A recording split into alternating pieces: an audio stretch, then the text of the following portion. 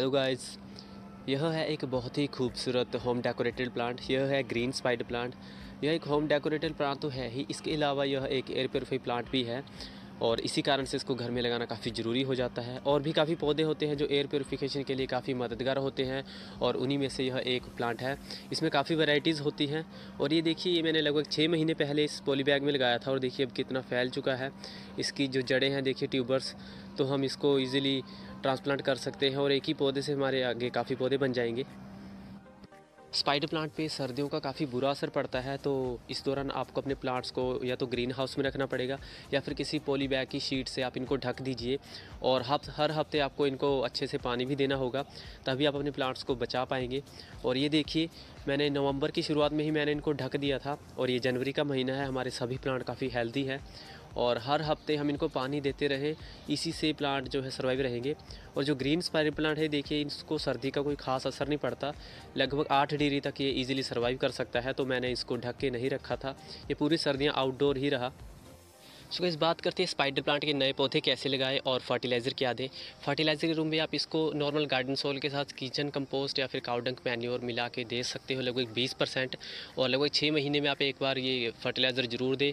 और दूसरा, नए पौधे तैयार करने के लिए आप इन्हीं की जड़ों से कुछ पौधे निकाल के इनको लगा सकते हो या फिर इनमें देखिए कुछ रनर्स आते हैं तो इन्हीं को आप सेपरेट करके भी लगा सकते हो जो बेबी प्लांट्स होते हैं ये। वैसे तो आप साल में कभी भी इनको लगा सकते हो, लेकिन बरसात के दौरान आप इनको सेपरेट करके लगाओगे तो बहुत अच्छे रिज़ल्ट मिलते हैं।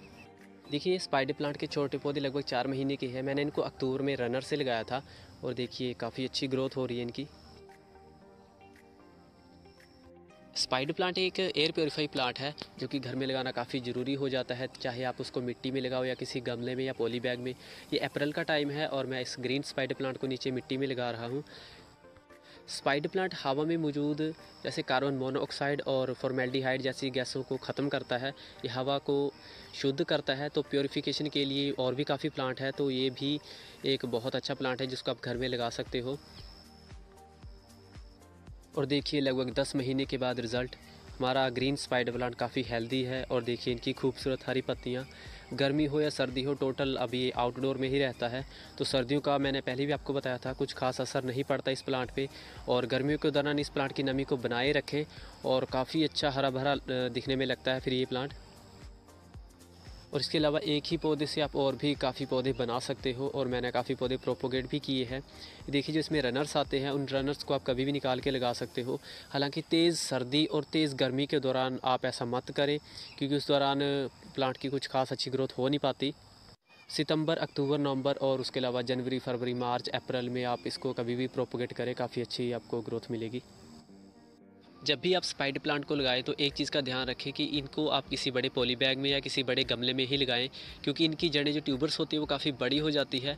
तो ऐसे में इस प्लांट को काफ़ी बड़े पोट की ज़रूरत पड़ती है। देखिए, इस ग्रीन स्पाइडर प्लांट को मैंने इस पॉली बैग में लगाया है, जो थोड़ा लंबा तो है। अब देखिए, इसकी जो रूट्स है, वो काफ़ी बढ़ चुकी है। देखिए, यह है रिबन ग्रास, जो कि स्पाइडर प्लांट की तरह ही लगता है। यह भी काफ़ी खूबसूरत प्लांट है और मैंने कुछ छोटे पौधे एक ही पॉली बैग में लगाए हुए थे और मैंने इसको भी सेपरेट कर दिया है। ये प्लांट जब थोड़ा बड़ा हो जाता है तो आप इनकी जड़ों से कुछ पौधे निकाल के इनको सेपरेट कर दीजिए तो ऐसे आप काफ़ी नए पौधे बना सकते हो। तेज़ गर्मियों में आप अपने इन प्लांट्स को पार्शियल लाइट में रखें और सर्दियों से भी इनको बचाए रखें। और गर्मियों के दौरान जो इनमें नए पप्स आ रहे हैं और काफ़ी पप्स आ रहे हैं तो मैं गर्मियों के दौरान इनको ज़रूर प्रोपोगेट करूँगा। तो स्पाइडर प्लांट के एक ही पौधे को लगा के हम काफ़ी पौधे तैयार कर सकते हैं। सो गाइस स्पाइडर प्लांट को लगाना, इसकी केयर करना और नए पौधे तैयार करना बहुत आसान है। आप इसको ज़रूर ट्राई करें। और इस वीडियो से रिलेटेड अगर आपका कोई क्वेश्चन है तो आप मुझे कमेंट बॉक्स में ज़रूर बताएँ और इस वीडियो को लाइक भी कर दें। और वीडियो देखने के लिए मेरे चैनल को सब्सक्राइब करें। मिलती है किसी और प्लांट की वीडियो में। धन्यवाद।